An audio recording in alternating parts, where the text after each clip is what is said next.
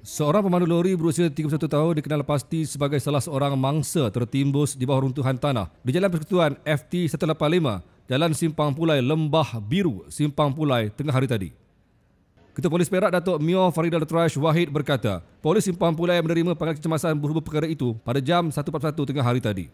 Katanya pemandu lori itu dari Cameron Highlands menuju ke Ipoh membawa muatan sayur ketika kejadian. Mangsa dikenali sebagai Muhammad Hafiz Hamdi berasal dari Tanjung Piandang, Krian.